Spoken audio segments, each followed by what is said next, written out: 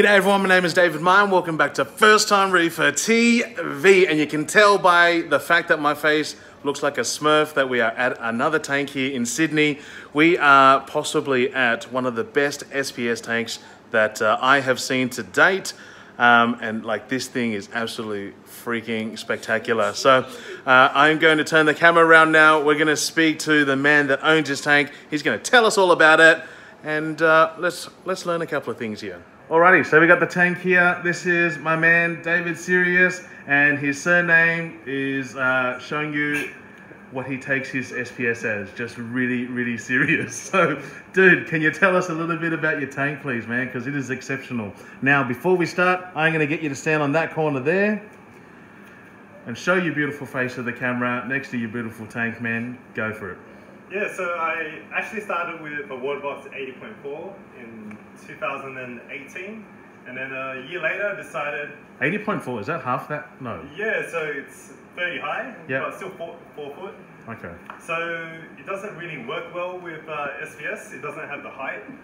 Initially, I bought it because I love Zoas and I love looking at top down, but uh, I think my love for SPS has just grown over the years. Man, I can see why.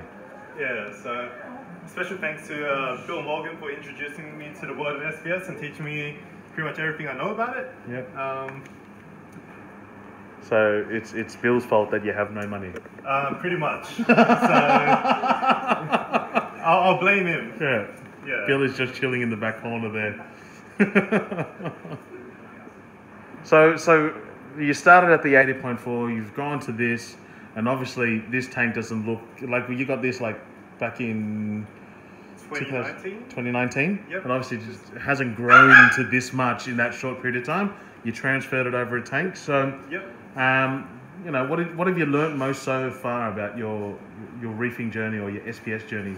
Um, SPS journey. Um, it's actually quite interesting. I don't think I've met any SPS keepers that haven't lost a colony or haven't lost a piece. For sure. So I think if you're gonna step into SPS, um, that's just a fact. Yeah. And um, placement is actually really important, and um, knowing how to create the rock structure that supports the SPS structure. So I actually had a lot of help from Bill, well, which I'm really grateful for. Yeah. Um, but as time goes on, you kind of look at it um, and you kind of try to figure out what colors go where and um, what corals like each other. So you understand that, yeah, there's some tabling, so you kind of put it on the edge and let it plate out. You know, Yeah. um, some grow taller. You know, strawberry shortcake loves a lot of light, so I would just um, recommend putting it in high places or where it's going to get that par.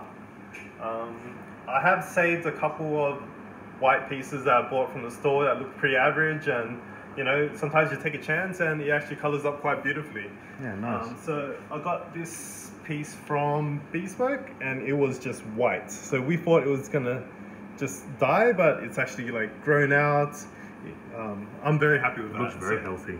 so I think that's one of the things I really enjoy as well, just finding those pieces that, um, you know, the uncut diamonds and uh, putting into your tank and seeing what comes out. Yeah. So can you run us through uh, your tank system? What lights you're running? What flow you've got? What do you run under the skirt? Yeah, so at the moment I'm running two XR30s, Gen 4s, um, two Kessil A360s, and three MP40s. Um, underneath the sump, um, running a um, RE DC200 skimmer, so I really like the big skimmers. Yeah. Um, that's a day worth of skimmate. A day? Yeah, so I cleaned it out yesterday, and it just pulls out a lot of junk. Crazy. Um, excuse the frag racks. I do have a H380 um, refugium light. Um, I do run one reactor just with carbon. yeah. Um, but but you said, I- you, you said uh, like you change out your carbon very, very regularly. yeah, I actually change it every week. Um, sometimes even more, Yeah. uh, because just from places where I've read online, you know, it gets exhausted within like three days, and after about four or five days, I don't really see the benefit of it. Okay. everyone knows that the day after you run carbon, it's just like crystal clear, Yeah. And that So helps the changing it par. regularly is the base. And uh, well, while, we're down here, let's run through your dosing as well. Uh, yeah, so dosing Calc Alc Mag and um, Reef Booster. So this system is um, a RA system. So I you know, buy my own calcium chloride, mix the RA products in it. Very happy with the colors. I've tried other systems before and uh, they just didn't work for me. So Okay. I, I find that RA um, is, is a thing that works for me. Okay. And you've got obviously a battery backup there as well, just in case anything happens, right? Yeah, just um, remember to keep it charged because last time my, last time my tank uh, died and it's like, hey, I call home, you know, is any flow in the tank? What flow? Nothing's on. What? I have a battery backup. Oh man, like. Okay. So. Oh, also, I used to run everything off an Arlic board, but I found out with um, outages, There's a power out back- that don't switch back on, right? which is which is why it didn't charge my um, Oh dear. battery. Okay. So keep your batteries charged. Yeah. Test it regularly. Yeah. One key. Okay. So that's light, that's flow. Uh, water chemistry, what salt are you using? Um, at the moment, um, I'm kind of playing with salts, so I found great results with Red, Red Sea Blue. Yeah. So I think that's what I'm going to continue to use in the future. Okay. Um, And feeding? I feed a lot. Feed a so lot? So every single time I walk past the tank, I drop them food. Oh, right. So it could be a little bit more in the mornings, more. So one big feed in the evening, one Yep. big feed in the morning, and just sprinkles throughout the day. Yeah, that'll keep the Ah. chromis happy. Yeah, so I believe in heavy in, heavy out. Yep. I'm still working on the heavy out because my nitrates are around 10, 5 to 10, and my phosphate's always 0.1 or higher. Okay. So um, Dude, I just came from a tank that had 50 nitrate and everything was still looking good. So, exactly. yeah, it's crazy. What do you what do you do to export nutrient though? Is it just the skimmer? Just the skimmer and refugium. Oh, you got a refugium as well? Yeah, so running a H380 Kessil um, Yep. grow light, but I am switching to algae turf scrubber. Okay. So I'm going to You're the second person I've heard that from tonight. yeah. There's, there's this trend. Yeah, okay. Um, and coral food? Uh, coral food, I use a mix of things. I use BioEnhance, Yep. um, mix. So I use Bioenhance? BioEnhance. What's, what's bioenhance? Oh. Oh, yeah. I'm gonna get Um, my so- ass through the second time I've shit on him. So Porter Marine Mints, uh, Reef Revolution Pulp Feast, Oh yeah, Reefroids, nice. as well as Vitalis. Vitalis food. is great. So There's a daily feeds. I feed daily, Feed daily. and but I'll mix it up. So some days I'll, or one day I'll use Reefroids, one day Reef Revolution, one day SBS foods. Yeah, crazy. So And just a broadcast feed over the tank with the return pump off? Or? I actually um, switch all my pumps off, Yep. and I target feed. Oh, right. Yeah, so I That target like three hours of your day. Uh, it doesn't take that long actually, maybe 60 seconds. Oh, really? Yeah, like Okay. just turkey baster, blah blah blah blah blah. Yeah, And okay. uh, Great sound effects, by the way. yeah. and then Now, away uh, we go. Okay, what else can we talk about? Um, water change once a week. Okay. I do 100 liters every week. Yep.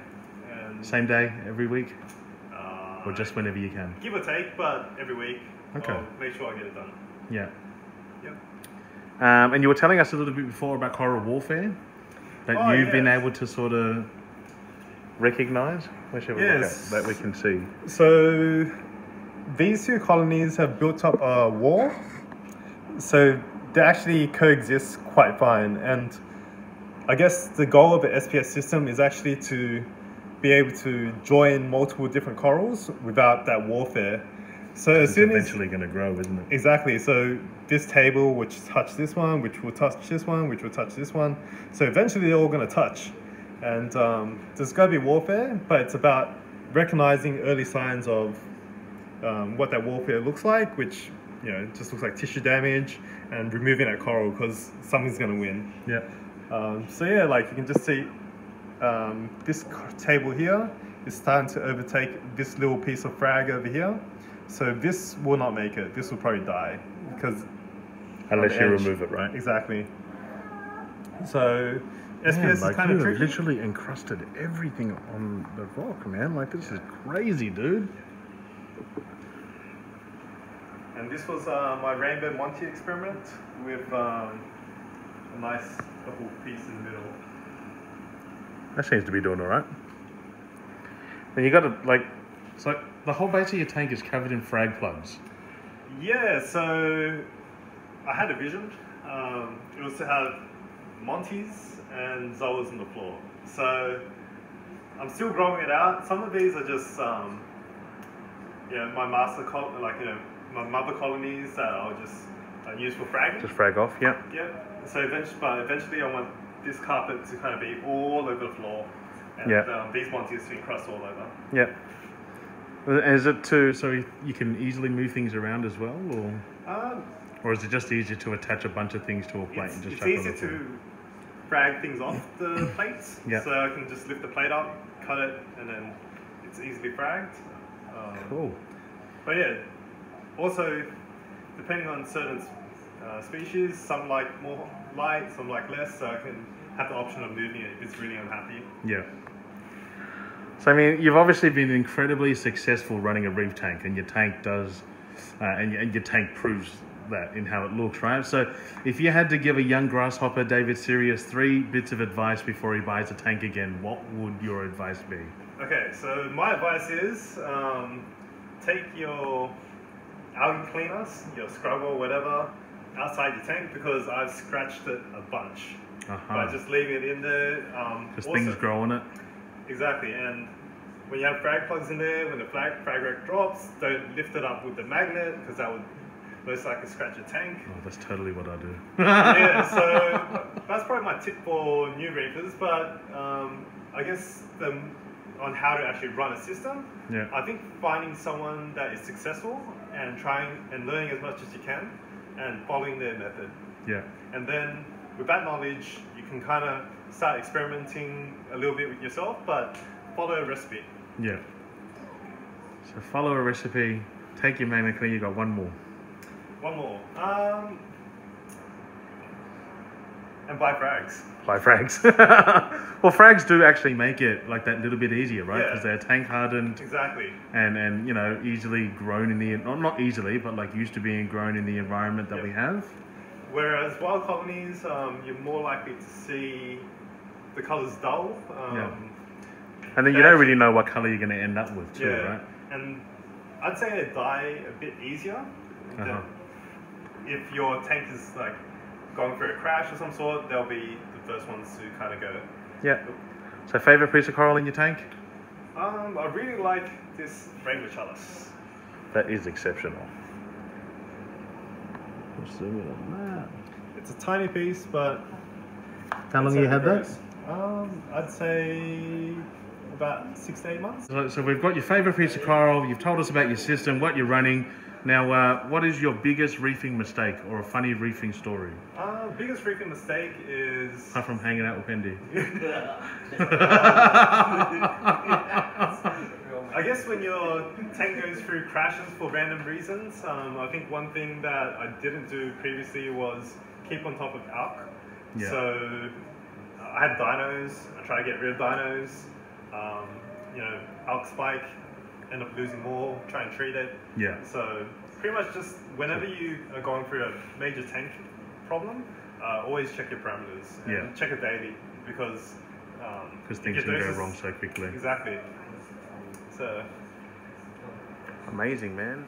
one thing I do really recommend is share your corals. Um, I- I'd say that's the one of the most important things because I've had colonies die, but luckily I've given a fag to a friend or a couple friends, and I was able to get that piece back. Okay. So I'm really big on fragging. Um, Clearly. so you can follow me on Instagram at Simple Reaper or my Facebook page, Serious Frags, Yeah. and I'll be at Fragstock. So tell us a little bit about Fragstock. When is it? Where is it? And what are they going to be able to buy from you, actually? So we'll be at Fragstock on the 4th of April at ARC3. ARC3, that's Arc Aquariums. Where are they located? They're located in Hornsby. So Hornsby, It's, a okay. Sydney, it's a Sydney event, so Yeah. you guys got to come down. Beautiful. Um, what you'll see from me at Fragstock is uh, a staple of Zolas, um, some Monties, and maybe a couple of SPS pieces. Yep. So you can see um, I've started fragging here. Um, there's some GSPs, some little colonies that I've grown out that I'm going to bring along. There's a stack of Dallas on this side. Which is the best Dallas I've seen, by the way. It is green. It is like proper green. So this is the first on my channel. You've actually got a question for my viewers. I do. So I'm about to change my lights. Um, and I'm thinking about running three Radions. Maybe a G5. But do I have two on this side and one on this side? And in what orientation should I run it? Ooh. So your, your question is two on one side Yep. and one on the other side. Yep. Why not spread evenly? Because you can't spread evenly because there's a weir in the middle. Yes. And Very good question. My answer would be, if you were asking me, Yep. get four. In That'd due be- time. In due yeah. time. Yeah, four or light bracket. That's what you'd have to do, right? So, if guys, if you've got suggestions on this lighting, uh, lighting setup, uh, leave a comment down below and tell him to buy another Radion. Amazing, David. Thank you so much for sharing the man. tank. This is, like I said, probably one of the most incredible SPS dominant tanks I've ever seen. Uh, he's put a few photos up. Where did you put photos? Everywhere. It Yeah. was made on the Waterbox page. There's some incredible like horror shots that he's got. in All here, right, so- Yeah. So guys, thank you for watching this video. Like, comment, share, subscribe to this channel. And my friends, until next time. You know how to do this because you watch my videos unlike Uma, right? One, two, three. Peace!